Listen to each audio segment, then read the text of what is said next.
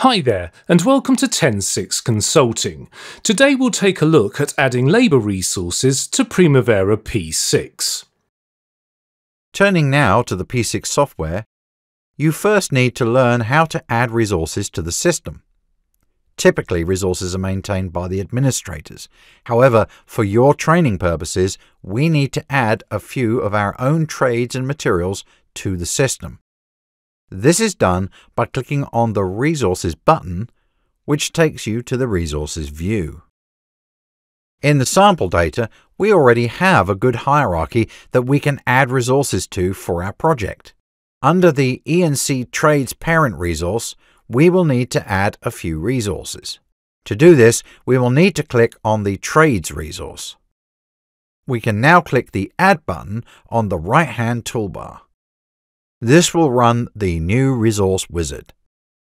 We'll add the first resource using this wizard, but let's start by selecting the Do Not Show this wizard again option. We'll add subsequent resources using a slightly different and faster technique. In the Resource ID field, we'll enter HVAC Eng with a resource name of HVAC Engineer. Now we'll click on the Next button, and in the Resource Type dialog, we'll go with the default selection of Labour. In the next dialog, we'll enter a price unit value of $40 per hour. The default units over time field and max units over time field will remain at 8 hours per day. This says we have just one HVAC engineer available for 8 hours per day. Now we'll click through to the Resource Calendar dialog and choose the default Select an existing calendar option. In the next dialog, we'll go with the Trades 5-day workweek calendar. It inherited this value from the parent resource.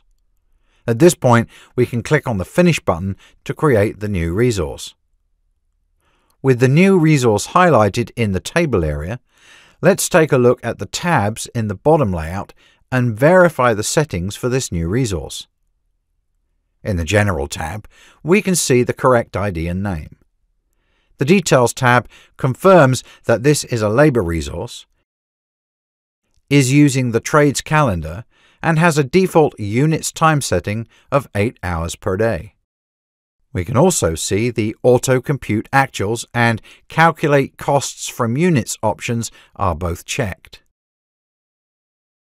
The Units and Prices tab confirms our 8 hours per day max units over time.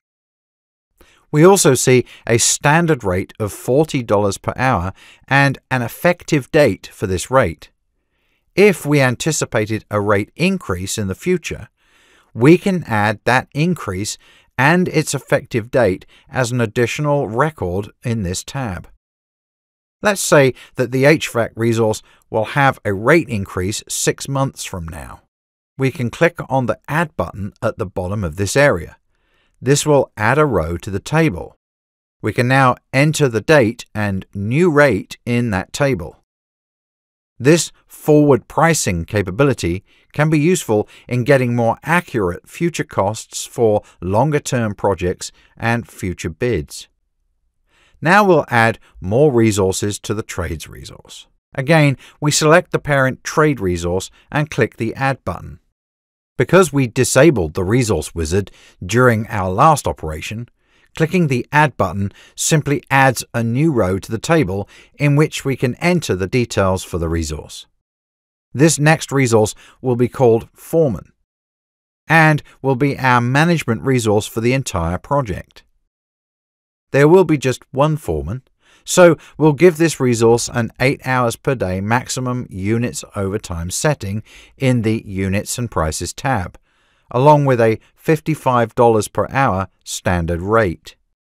In the Details tab, we'll verify that P6 created the foreman as a labour resource and that the trades calendar is also assigned. If you'd like to learn more about Primavera P6, then Ten Six offers some great online training courses. These courses are written by industry experts and offer you all the skills you need to get up and running as a P6 scheduler. For more information, visit our website at tensix.com for full details on how to get started.